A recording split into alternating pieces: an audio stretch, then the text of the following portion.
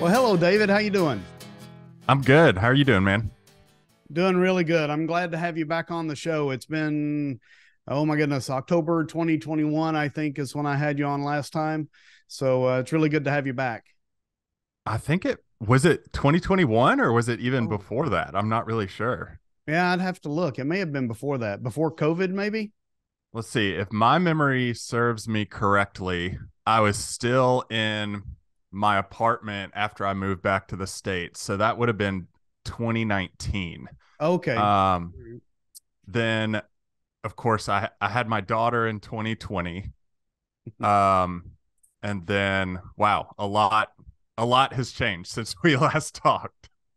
Yeah, I no, I I thought it was 2021, but uh, now that you think about it, I don't remember you having a daughter when we talked last time. So, yeah, it's been a little time, bit longer than I thought time flies, man. It always it, does. It does. What catch us up on where what you've been doing. Um, for those that don't know you, maybe uh, a little bit about how you got into photography in the first place. Sure. Yeah, I'd love to start off with that. Um, we've talked before, so you kind of know my story, but anybody who doesn't know, um, I've been a landscape photographer since full time about uh, 2015, 2016, but worked on it on the side since 2010. Um, and I always kind of had this inkling, I guess, since I got a digital camera, but I I really started in my photography journey in high school. Uh, you see, I found this. I wasn't the best student, I'll put it that way, and I was always looking for these little loopholes I could get out of classes with and things like that. So I found a loophole in our um, direct syllabus of like how you could graduate, get to college, all that stuff. Um, and I could skip out on a geography class if I chose an extra elective. and I found this loophole and I chose film photography as my elective. And lo and behold, so many years later, it's it's what I do uh, with my life. So it's kind of funny how things work out sometimes. But ever since getting a, a digital camera, you know, it's it's really been one of those things where I don't know if you're like me, Jason, but I when I latch on to something like photography or another hobby, um, I love, you know, skateboarding's really cool. Uh, I play a lot of disc golf now. And, and when I latch on to something like that, I, I just want to learn everything about it. And I just spend all this time just consuming information and trying to to become as much of an expert knowledge as I can on that topic and photography is just something that kept growing kept growing. It's funny with hobbies uh, for me like i'll latch onto something and it grows and then it kind of fizzles out and i'll latch onto the next thing and and move on. But photography's never fizzled out for me. It's always interesting. And i think it's because you can never really master photography. You can you can get close and you can really master what you're trying to do with it uh, but there's always something to learn and there's always something to improve on and tweak with photography, especially with all the technology we have now with cameras, editing, different things like that. So, photography has always been a really big passion of mine um, since I discovered it and really got into it. Um, since the last time we talked, you know, I mentioned you, we had moved back to the states. I was a missionary in Haiti with my wife for a couple years. Then we moved back to the states. Um, since then, uh, we we had a daughter. Um, she's two and a half now, which she'll remind you of about every five minutes, which is great. and um, she she's just this amazing like little thing to watch uh grow and interact with and and learn about and i think since then photography you know it was just this like thing that consumed my life but now i have this like different outlook on photography where it's this outlet uh, for me not only my business but also the ability just to get outside and enjoy the peace and quiet. Because i used to be this run and gun photographer like trying to get everything in one trip or something like that. And now i'm much more slow processed um, watching things as they evolve and and different things like that. So not only has like major events in my life changed since the last time we talked, but also my outlook on photography too. Oh, that's that's wonderful to hear actually, and I share a lot of those same commonalities. Whenever I do a new hobby, I jump all in, all yeah. in. I, you know, hours and hours watching YouTube, reading books, doing everything I can to consume every bit of information about that new topic. With photography, it's much the same. I have certain hobbies that come and go, but photography always stays around maybe it's not as active as it could be sometimes when I'm doing those other hobbies, but it is always there. And there's always something to learn.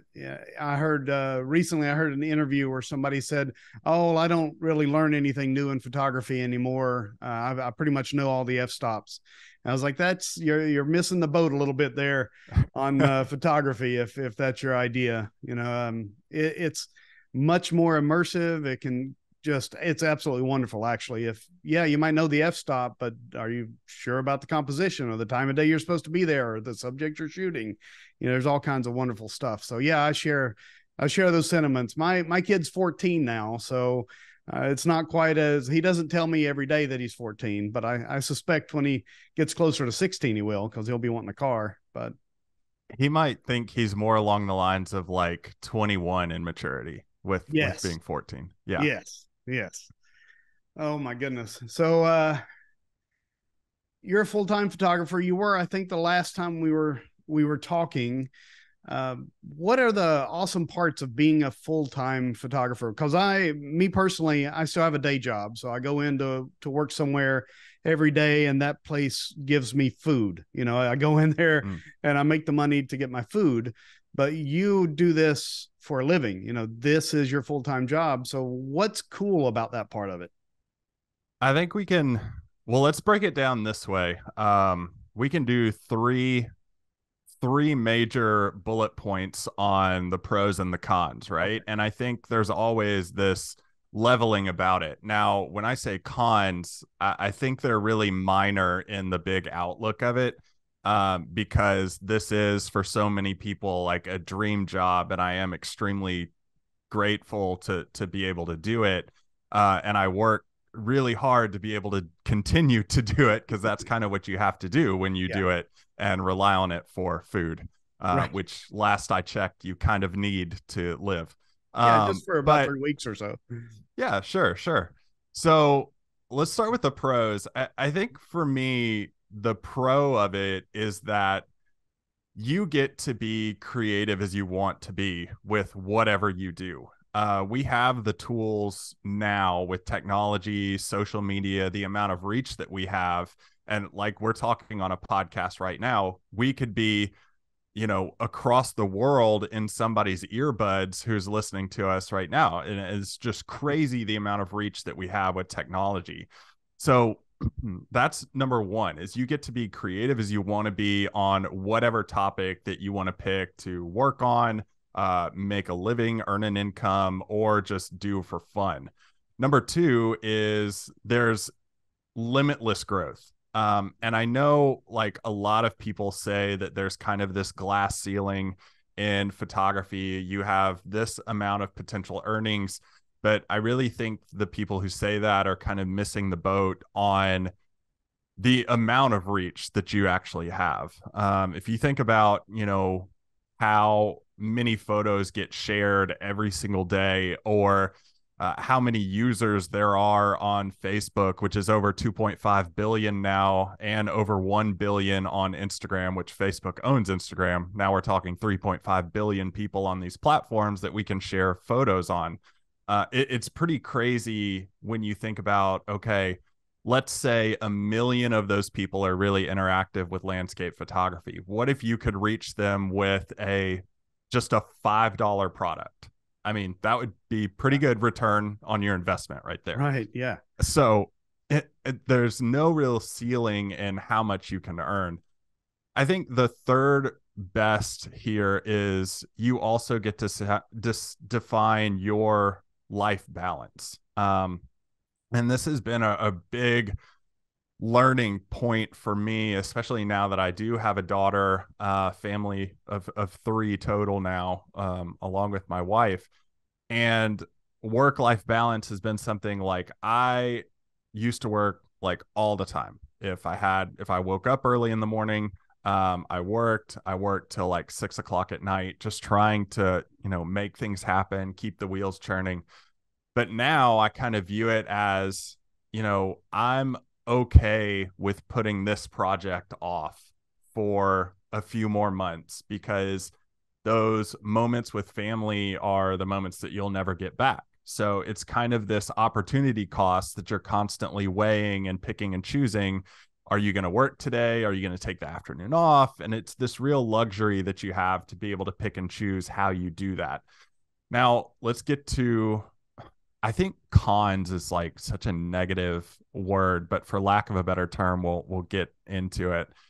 Cons it goes along with that work life balance. Um, it's really easy when this is what you rely on for income and food and shelter providing for your family to like be overworked and not take any time off. Um, that's kind of this bad part of the work life balance that honestly I, I do see pretty often not only in myself uh, but in a lot of people uh, that I follow too is is you can get wrapped up in it pretty quickly, mm-hmm. and you know, th- there's another part of it where when you only rely on yourself it can be hard to not beat yourself up when something doesn't go right rather than viewing it as like well this is just something i tried now i know that this isn't working how it's going how can i fix it how can i alter it um so there's a lot of that that goes into it.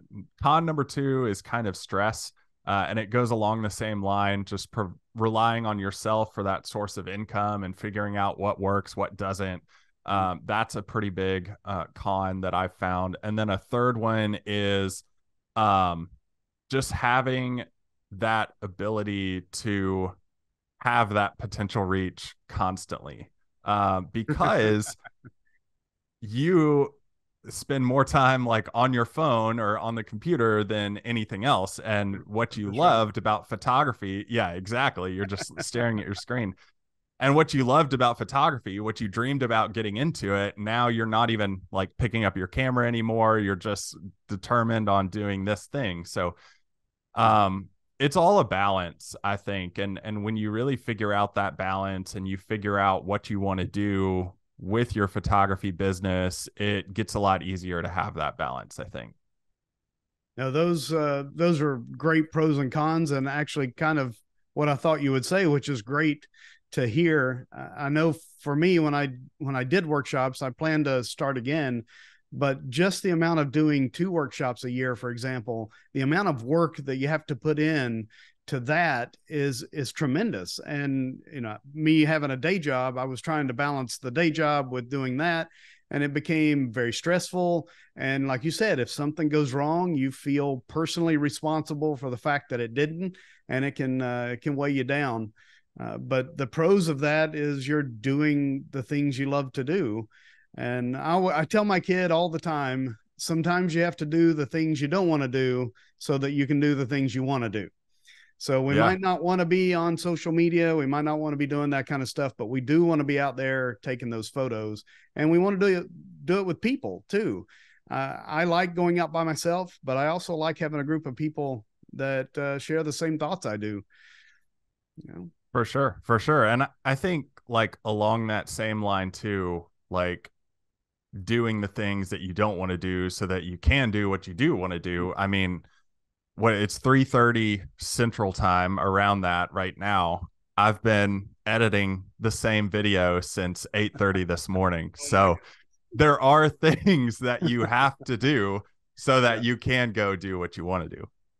Yeah, boy, I, I tell you what, it might be a little bit of tangent here, but videos I've tried to do a couple, and the amount of time it's like, oh, it only takes 20 minutes to record this video. Yeah, but it takes about three hours to finally get it put out you know and it's only it's a very short video and any any length of time it's amazing you can get yourself lost in that video editing production the whole thing is insane so i yeah. can understand yeah and then I your think... your videos are exceptional quality and it looks like you put a lot of thought into them so i can imagine that the editing part of that's pretty big i think most of the time um if I have a really good idea about what people want to watch, it makes the video production a lot easier. Um, because I'm not trying to figure it out or catch attention along the way. I know people are going to search for that particular topic. Um, and that allows me to like not have to put so much effort into the editing. And I used to like try to keep people's attention with, you know, split cuts and zooming in and out and all these fancy transitions.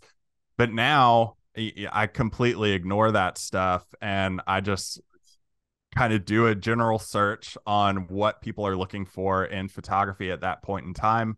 I jot down a few notes, a few, you know, hook titles, and then record an entire video on those bullet points. Usually, for like a weekly YouTube video, I can get it done in about two hours uh, oh, max. Fantastic. Um, which which is you know streamlining because I used to take a week to get a video done. Uh, and now, you know, it's just one of those things where once you do it enough, it starts to become a little bit easier along the way. Oh, okay. Well, that's good because it's not easy at all right now. yeah, it's it's hard. It's it's kind of like, you know, let's say picking up a new topic in photography and trying to figure it out and, you know, with let's say like night photography how long does that take yeah it's it's just really hard to do it's just streamlining the process and figuring out all the little shortcuts along the way so uh, you know we've talked about the fact that you do this for food uh, uh-huh. stress of everything that you do you know the cons that we talked about when all of that starts piling up have you ever has it ever affected your creativity does trying to find YouTube videos that people want to watch and then having to do your own video version of it, maybe not something you necessarily wanted to cover. Does that hurt your creativity or your inspiration? I I think it it kind of wavers back and forth. Um I don't think it hurts creativity as a whole, but it just kind of transitions it from one thing to another. Um, and I, I think it comes with a lot of learning when you're doing it full time because I used to only think about like doing photography and that was my creative outlet. Well, now I kind of think of it as, um, you know, what words am I going to use in a video or what words am I going to use in a caption for a photo or how can I, you know, write an email that gives my email list a massive amount of value in a, a, just a simple email that they get every single week. So I think it transitions from one thing to another. And that didn't really click for me until I did start studying the business side of like running your own small business really, really carefully.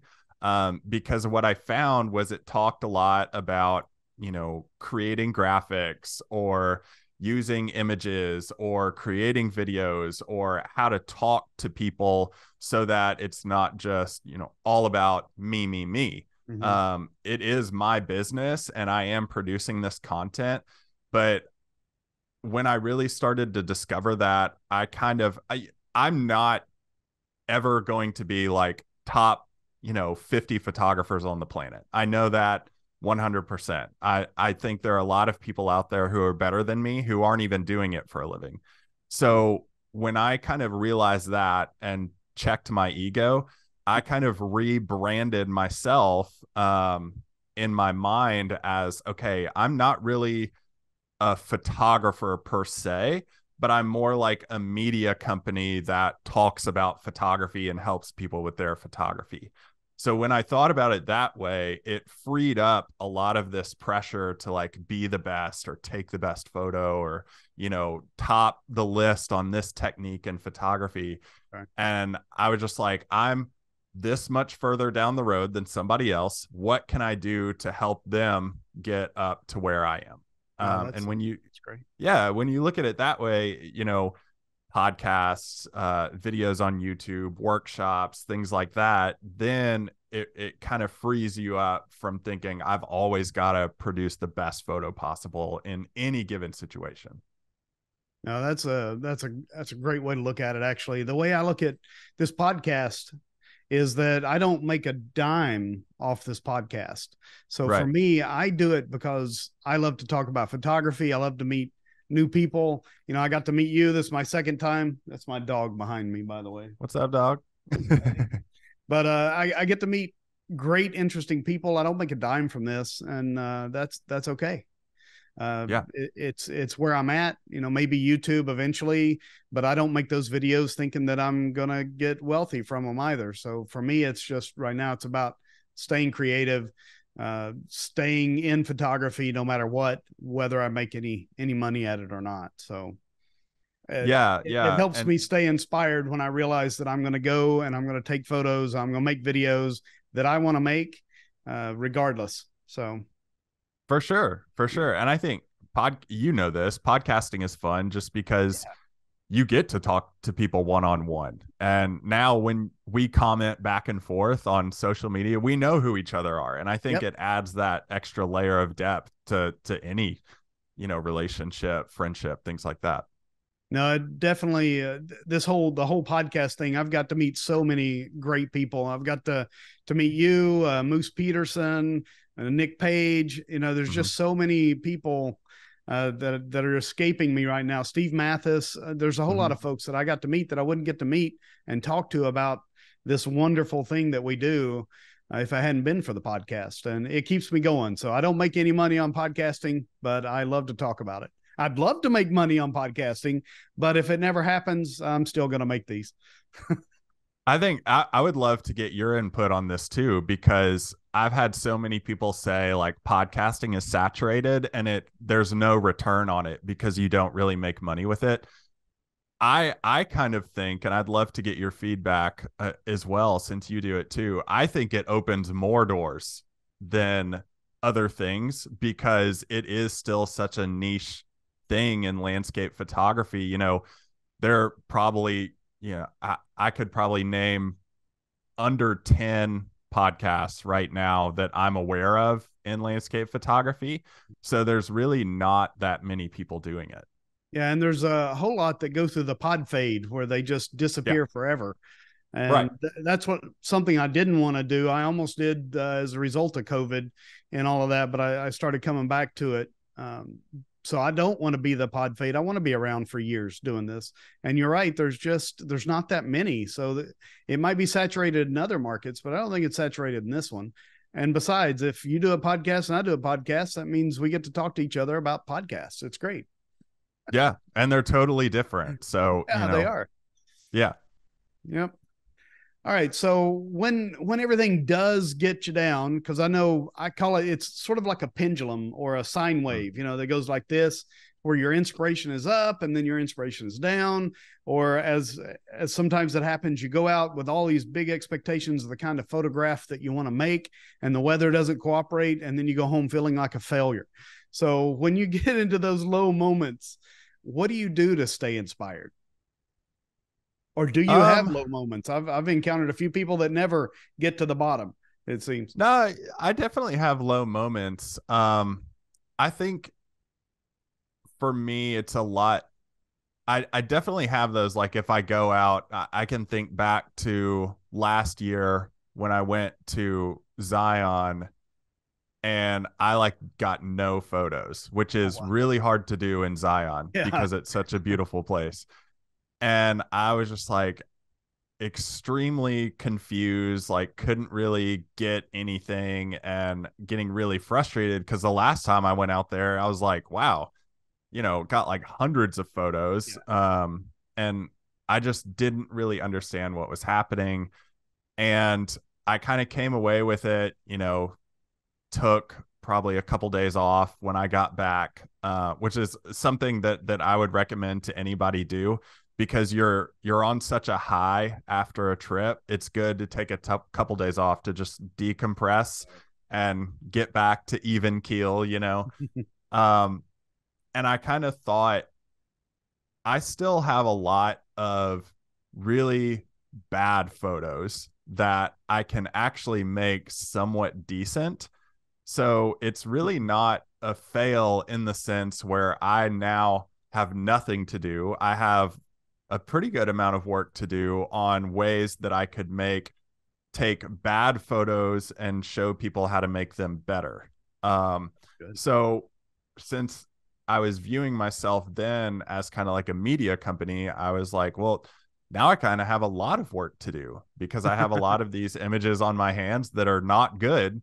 Um, and I can figure out how to make them better uh, and show other people how to do that. Now, personally, like I am a very competitive person. So I want to like take the best photos that I possibly can.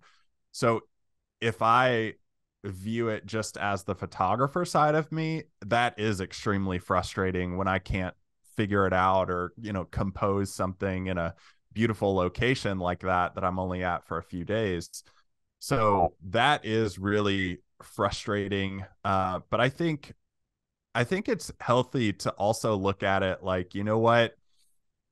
That's okay. Um, I may be back here or I may not. These locations aren't really going anywhere in the grand are, scheme we're of gonna have trouble. yeah, seriously. So um, I kind of think of it uh, that way um, because I I also get really frustrated and down when I can't go take photos because of other projects that I have going on or um yeah, you know work obligations and I'm like, "Oh, I feel kind of trapped here." But it's just really good to remember those places aren't going anywhere. Just do what you need to do right now and sometime in the future you'll probably get to go there. Um and you'll probably be a little bit more refined when you're able to. Yeah, no, that's that's a that's a great way to look at it. I know that I get down sometimes in those situations where you're out there in those beautiful locations, the lights doing everything you want, and then you can't get a composition. yeah. That's the yeah. worst because you see the light starting to fade and you just can't do it. Yeah, exactly. And yeah. I was even even last uh couple years ago in Death Valley, I just like quit on the day and then it was the most insane sunset oh. ever. And I was just like, wow, yeah, you to was, see it in the rearview mirror on your way yeah, back. Yeah. I was like rookie mistake, you know. are are you familiar with Rick Sammon Have you heard of him? Yeah. He uh I asked him one time what he does because he's been doing this for I don't know, it seems like 150 years, uh, the the way he talks about it. And I asked him what he does when he gets uh, gets in those low moments. And he said just keep shooting. He, he said yeah. you might not be producing what you want. You might not be even having that much fun doing it. But he said just keep shooting. And i thought he was just uh, full of it at the time. And uh, i but i decided why not? What's it going to hurt? Pixels are free right? So i yeah. kept shooting and kept shooting. And sure enough he was he was right. It's just a matter of forcing yourself to do it sometimes when you're not feeling inspired because it's not a switch. You can't just say, "Oh, today I'm going to be inspired." You either yeah. are or you aren't. So you just got to work through it when you're not. How long did it take you? Uh, I think in that situation, probably six months. Okay. Maybe being pretty uh bummed about it, you know. Yeah. I, I'm like you as well. I'm competitive with myself. So when I go out and I don't get the images I think I should where I'm at in my photography, then I get bummed and I get down and I get uninspired and I say, well, nobody's looking at the photos anyway. Why do I even bother? Yeah, the, I go through all of that. And then uh, right. pick up the camera and you go out and you have a day where everything clicks and everything's glorious and it's beautiful and your inspiration hits. And yeah, that's just why I do it. So. Yeah. And that's a really good way to look at it. And I, I, the reason I ask you is a lot of people, if they haven't gone through that yet, which they probably will in the future, is they think it's going to be like a couple days, couple weeks, and then when it starts hitting months, you're like, what is happening yeah. right now? And you're really confused. So I, it's good that like I've had similar experiences. So it's good to like put an expectation on it or kind of the wide view of it. So people aren't like, it's been two days. Why am I not inspired right now? right. And I would actually caution everybody to not do what I did. So one thing I learned is, you know, COVID came along, it killed my business. And yeah. then I just got all kinds of depressed about I'd put all this effort in. I was doing well. I was running workshops and bringing some money in, doing all that. It was having a blast. And then COVID killed it all. And I, uh-huh. one day I just, I had enough and I, I w- had the nature photography show website and I had the Facebook pages. And then I had a YouTube channel that had maybe 60 videos and I shut it all down. I said, that's yeah. it. It's done. And so when you're going through those low moments of inspiration, don't make any rash decisions. That's that's going to be one bit of advice that I give you. Yeah, no knee jerk reactions in those times. right. Yeah, I only know that because well, here we are. All right. So when I was reading through some of your posts on online, I came across one. I'm like, man, that sounds really, really depressing. And uh, you mentioned that one of your driving forces is when someone told you you're going to die. Uh huh. So how uh, how do you how does that affect you without making you horribly depressed thinking about it? Well, it's just a fact of life. Like we're yeah. all going to reach that point. it's um, gonna happen. It's you cannot avoid that. So I think when you fully accept that as kind of like your end and the actual reality that is going to come someday, um, it just makes me work even harder to make it a reality. Um, and that's not like saying, well, I'm just going to hustle 24 7. Um, I'm not going to do anything else besides like take photography or do my business. It's more along the lines of like, what what am I going to regret? Um, because I have had, and I'm not trying to be like super depressing here. I've had uh, both of my mom's parents so my my mom's side grandparents die in the last year um and talking to them they don't they probably don't have many regrets but things like um looking into like my grandfather's eyes when he was talking about how he went to all six continents but he never got to Antarctica that was like it was painful to mm. see knowing that he could not do it. Um, so for me, when I realized that that's the actual end, I'm like, okay, what do I actually want my life to look like? Um, and how do I want to approach that? Number one, you could look at it on the photography side and say, I'm going to do everything that I can to do this for a full time career. And within reason, obviously. Right. You're not going to like divorce your wife, leave yeah, your family. family, yeah. Yeah, that's a, that's a little extreme. Um, but you're going to do everything within the realm of possibility and logic and you're going to try to make that happen. And if you do that, you're never going to like regret that you tried. You're always going to regret that you didn't try. Um, so I always say, like, go for it. If you want to start a podcast, just try it. If you want to do yeah. videos, just try it. Um, there's a lot of stuff that you can just try. And if you don't like it, just be like, you know what, that, yeah, I didn't like it. I'm not going to do it. Um, on the flip side, you know, we've been talking about balance and family and stuff. Like the reason I wanted to do photography full time, one of the big ones is I wanted to be home a lot with my family. Oh. So I'm not going to you know go on all lead all these workshops or things like that and have to do my photography career doing workshops when I want to be at home as much right. as possible. Um, so I'm I am never going to regret spending more time with my family, and I know that.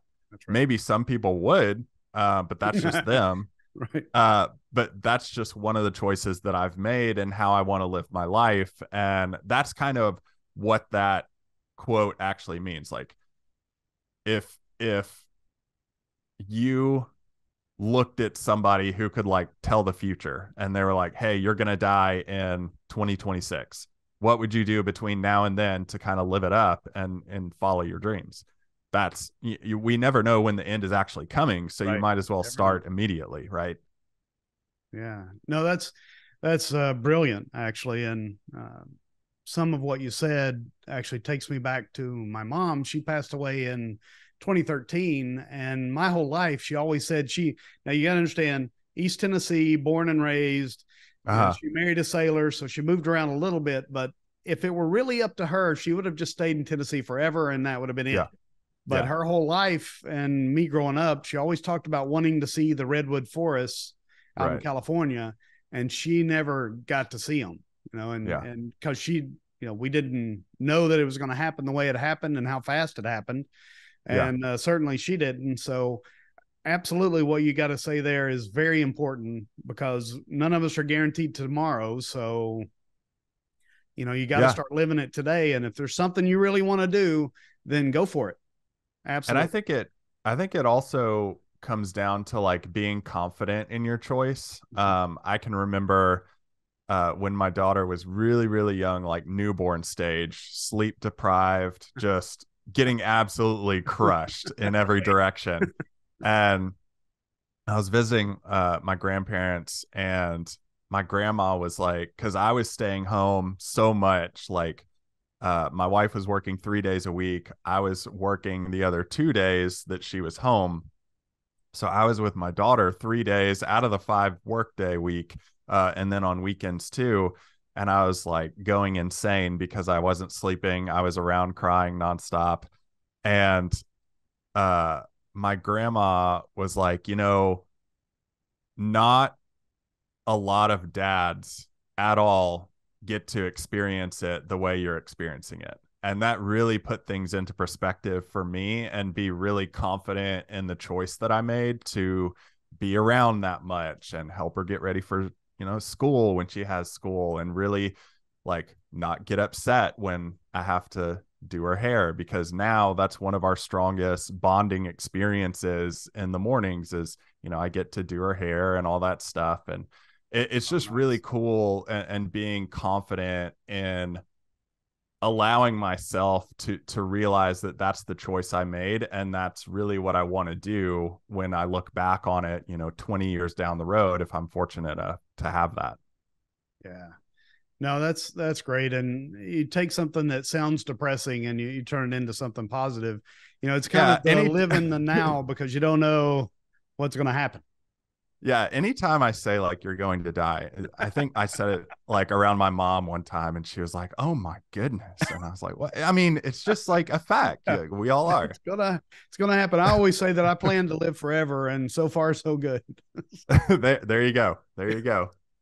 All right, so you as we've talked about a couple of times, run a mm-hmm. podcast. Mm-hmm. What is that podcast? Yeah. And what what made so, you decide to do it? I do uh, a podcast called The Landscape Photography Show. I've always really enjoyed podcasting. Uh, I started one back in 2010, actually.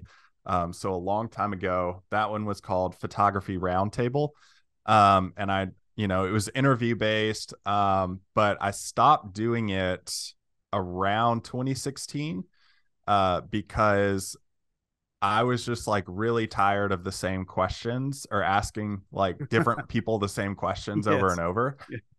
And hearing the same answers, and I was like, you know, there's got to be. I I know there's more to photography than this. Like, we gotta we gotta change things up here. So I took a, a long time off of it actually, um, and I started uh, a second podcast in 2018 um, that lasted about three episodes, and I was quickly like, "No, this isn't this is this isn't right. This isn't what what I want to do."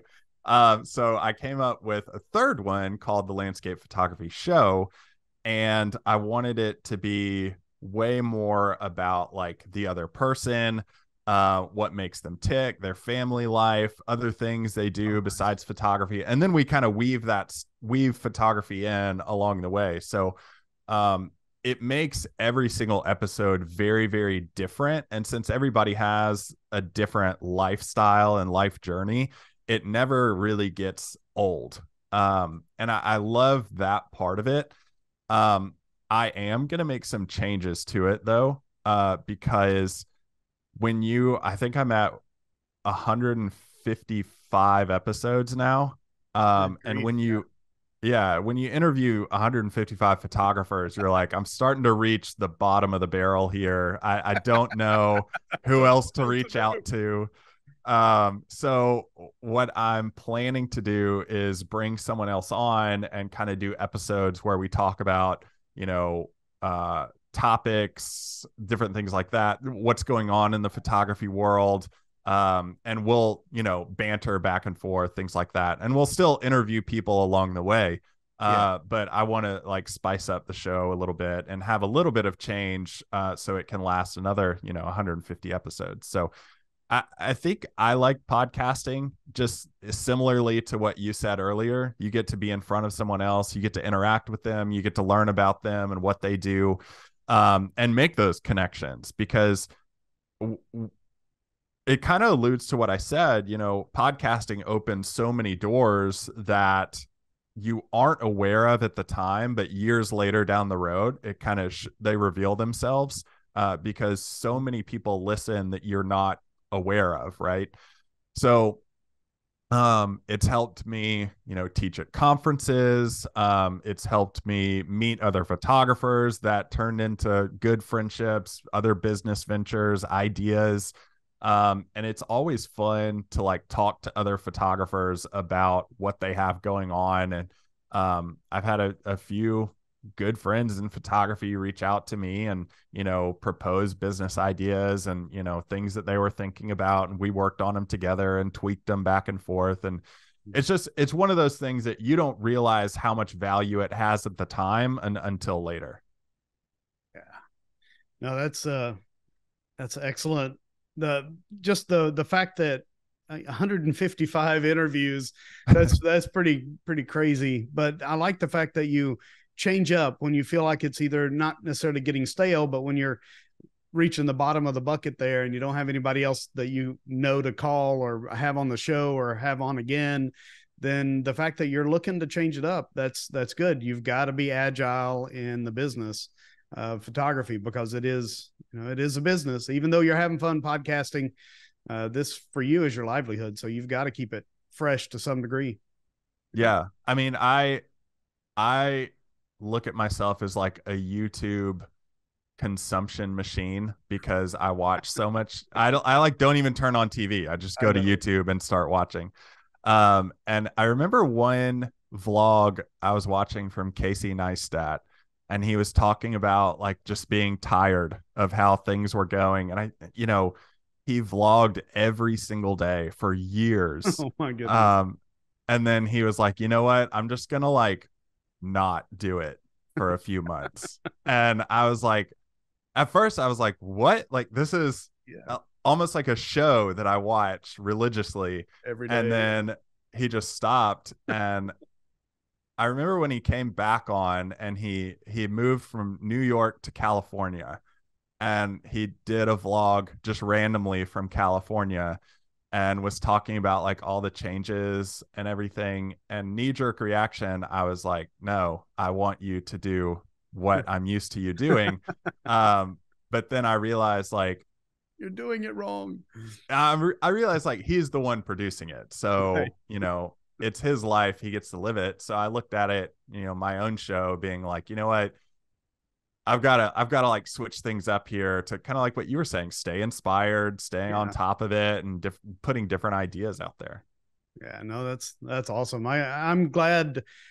You know, I'd like to say that I listened to your show a lot, but it was only until I, I guess maybe a few months ago I, I started listening to the podcast again because I go through times where I don't, and I, right. I, picked up on that, and I've been listening to it ever since. So it's it's always good to hear. Uh, it's good to hear the interviews that you have, and of course, your audio sounds amazing.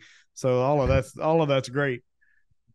Well, I mean, when you buy when you buy a good mic, you need one to la- I have I've had this mic since when was that? 2014. The exact same mic. Um, so you always want to buy like good stuff. Yeah. Even though it hurts when you yeah. buy it buy nice or buy twice. That's right. That's it's right. sort of the the tripod tax that we always talk about, where you the first tripod is the twenty five dollar one from Walmart. Yeah, you know that has yeah. a little crank to raise the yeah. center post, and then you buy another one that's maybe fifty, and then you buy another one that's a hundred, and then you're like, okay, fine. Yeah, and then you get one of the good, really, really nice ones, and you're like, why didn't I do this ten years ago? So exactly, exactly. Yeah. All right. So, do you do workshops? I, I didn't know if you did them or I know you do conferences.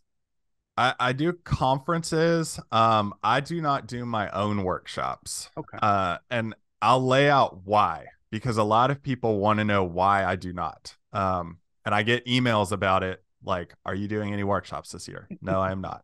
Um, so I like to do conferences because number one, when you start a landscape photography business and you want to do workshops, you have to have like a lot of liability insurance. Um, you Absolutely. might want to do an LLC, uh, which is a limited liability corporation. And uh, you might want to insure your gear. So all these costs start to add up. Mm-hmm. Um, and then, not to mention the costs of getting permits in different national parks, first right. aid permits, all this stuff kind of goes into it that you don't really think about on the front end. Right. When when I started to realize that, um, like you talked about at the very beginning, you know, it takes a long time to organize a workshop. Absolutely. I did not like a lot of that work, um, which I really liked being out in the field and teaching other people, but the workload leading leading up to it was really taxing on me. Mm-hmm. Um, and I I chose to do conferences because all of the liability is on the conference. They're the ones with the insurance. They're the ones booking the hotels. They're the ones planning everything out. I literally just have to show up and do what they tell me to do. And I still get to interact with other photographers and teach them oh, how to do great. stuff.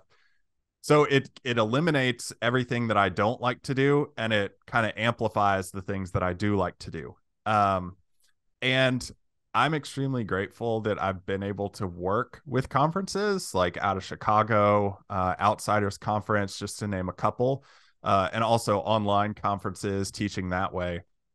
But I that's why I chose to do conferences instead of workshops, and I think I think that there's a market for both. Um, I remember when I was on Matt Payne's podcast, uh, F Stop Collaborate and Listen it was uh had to have been 2018 somewhere around there and i remember i said i believe that workshops as we know it kind of as that framework are going to die um wow. and it kind of shocked him but i was like let me explain um because i still think there is a niche for workshops how they are as kind of like think about it like big store, small store. You know, we always talk about shopping local, things like that. Big store like Walmart is going to be like your conference workshops um, where they have a lot of marketing capability. They have a huge email list that they're able to reach out to. That is kind of like your supersized Walmart of uh, workshops. Um, not saying everything is Walmart quality where it's going to break two days after you buy it, but little like local workshops are kind of like the boutique stores that you can go to to buy really good like really high value products for maybe even a higher price um, so i think there's room for both if you have like i was talking with, about this with my friend uh, dusty the other day saying you know i still think there's a huge market for location specific workshops that one person knows really really intimately and you are guaranteed to get the best shots no matter what the weather is time of year anything like that. Um, but i also see a lot changing in the fact of some of the biggest photographers are kind of going the route of the larger sized workshops and conferences um, not that it's a bad thing and and I do conferences too, so you know I totally understand why they're doing it. Uh, mm-hmm. but again, I think there's enough room in the market for both kinds of workshops, if that makes yeah, sense. So. Yeah, no, I, I I totally agree. Actually, I, I love conferences because you get to meet a whole lot more people than mm-hmm. you would at a workshop.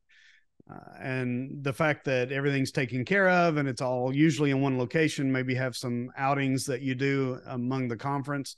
I think there's definitely a place for it, and I would love to attend those myself uh, as a participant or or otherwise.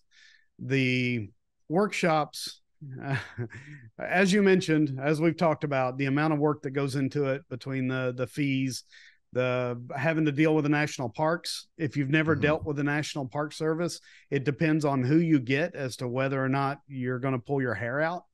Yeah. If uh, the Grand Tetons, for example, is an absolute nightmare to deal with the Park Service, you know, and you're trying to bring in business for them, and the people Right. that you usually bring in are are good, decent people that aren't going to damage anything. That's Yeah. usually who attends the workshops, but they make it very difficult. The Smoky Mountains, on the other hand, takes a week tops, and you'll have your permit in your hand.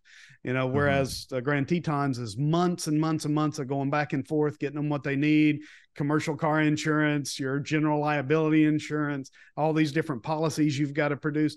It's absolutely insane. So I can understand, especially from a photographer's perspective, wanting that burden to be put on someone else, as in the conference has people that do that for a living. Yeah. And so they get to do all of that kind of stuff. And then you get to come in and, and either participate or, or otherwise in the conference.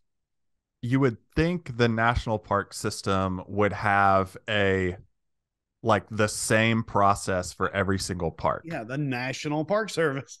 Logically, you would think that, Right, but yeah, that is not. the case. That's not how it works. In fact, if you look at the Grand Tetons, what they require with commercial vehicle insurance, and then uh, like you can't drive your vehicle even if you don't carry anyone. You, Yeah. you still can't. You have to have that commercial. But you go over to Death Valley, they don't require it. You you talk to Great Smoky Mountains, and you say, "Well, I'm not taking anybody with me," and they're like, "Okay, whatever."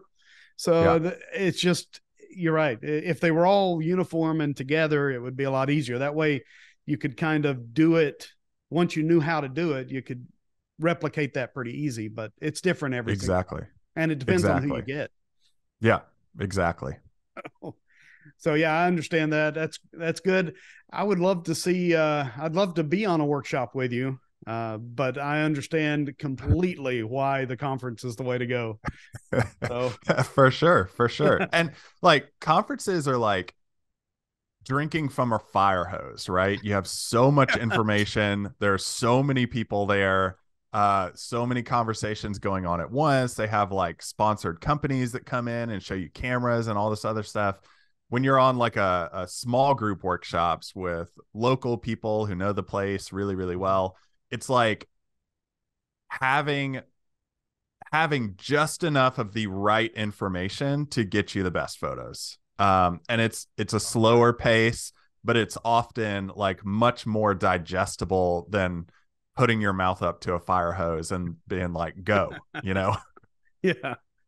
No, I, I for me running workshops, getting to that point is a nightmare. But once you're there and you're doing the the workshops, it's Oh. it's such a hoot for me. For sure, for you sure. Because I, I like to go to each individual person, or even sometimes I'll set my gear up and I'll say, hey, this is what I'm looking at. And then the Mhm. things that you learn from the people that are are learning from you is it's wonderful. And you, I've met lifelong friends at this point, all because of photography and workshops and doing all that stuff. So it's worth the pain and suffering up front most of the time anyway. But uh, I, I would like that the pain and suffering at the beginning to be a little easier. But I, I think if we continue to have lawyers, eh, it's just always going to hurt. for sure. Not only time wise, but financially. Oh yeah, yeah. It's uh, 250 here, and then you know 250 there, and then uh, before you know it, you're spending a ton of money. Oh, the worst one a few years back was uh, Death Valley. I called the resort to try to book the rooms because I decided I Yeah. want to do a workshop in Death Valley, and it was going to cost me fourteen thousand dollars with no return policy whatsoever. As Yeah. in, if you didn't use it, if you canceled the next day, then you still had to pay the fourteen thousand. So Right. yeah, that, there's a lot of businesses that make it tough, really make it tough on you. Yeah. Well, I mean, Death Valley, if you even get a hot dog there, it's, like $30. No lie. It is. It is. It's so it's so crazy. we we went into the little store. Uh, we were out there just for three days. My kid had a hockey tournament out in Vegas, and we said, "Hey, we got three days. Let's." We got a few extra days. Let's go to Death Valley, and so I took all my camera gear, and we went out there, and it's um, it was a great a great experience. It rained more probably while I was there than it does in a year in that place, which was funny. But we we decided, hey, let's go into the little general store, and oh my goodness, It's like fifteen dollars yeah. for a little thing of peanut butter. Yeah, it was unbelievable. But well, they know. I mean, the closest thing besides that's like three hours away. Yeah, so exactly. You're exactly. kind of trapped. they are, and and the rooms weren't even that great. You know, they're just no, they're kind not of common low end yep. hotel rooms for three hundred and fifty dollars a night or whatever. Yeah, insanity right. it was. That's right. All right, so future plans. What do you got coming? What do you What are you doing? So, future plans are, you know, I've I've alluded to kind of looking at myself as a media company. Mm-hmm. Um, so future plans right now, uh, I've started a new website uh, and and kind of a media platform called Landscape Photography University. Uh, okay. It's just landscapephotographyuniversity.com. And it is going to host courses on there that people can purchase. Um, I've already got a composition course on there now uh, that basically takes you from knowing nothing about composition to being a composition expert in eight hours. So it's a really fast walkthrough of learning everything about composition that you possibly can. Um, and that is available now. I'm about, I mentioned, you know, working on one video since 8 30 this, yeah. this morning um, I'm very close to finishing the uh, business course that I have on how to start uh, your landscape photography business. And it's called 30 Day Photography Business. So it shows you how to start and finish planning out a business, mapping it out. And it's designed to be able to help you go from start to finish and earning a five to six figure landscape photography business. So all the tools that I've looked at, all the tools that I know planning market research uh, all the way down to like facebook ads how to run them really well uh, is all in that course. So that was a large large undertaking um, but it will be available on pre pre-release very soon um, to where people can sign up early for like helping it get launched and and stuff like that. So well, I, um, I may have to to make that purchase right there because I have to tell you, social media, I am horrendous at social media and and getting people, you know, getting the likes and getting all that stuff. I'm terrible at it. So, well, I think like uh, especially now uh, what's really interesting with social media specifically um and I YouTube did it this uh 1 or 2 weeks ago where they changed up how they um suggest videos to people where they would basically put the people who are most popular with the most subscribers up at the top of the list of suggested but now they're switching it up to where subscribers like don't even matter anymore and it's all about your audience retention and how many views that video has um, so they're basically all about how do we keep people on youtube as long as possible um, so they're changing things up like that and on the flip side um, I think, and we talked about workshops and having those kind of like smaller localized workshops. I think that's one of the biggest missed opportunities for smaller workshop providers is running targeted specific ads to locations or to their specific email list on workshops. Um, and I say that because it is the smallest amount of money you can spend for advertising and you usually get direct results from that but running them is confusing and it's a little hard uh, but i have literally spent about six months studying facebook ads and how that works and wow. i'm very excited to to share that in the course well, uh, consider yourself having already made one sale. So uh, I'll, I'll, definitely awesome. be picking that up. That's great.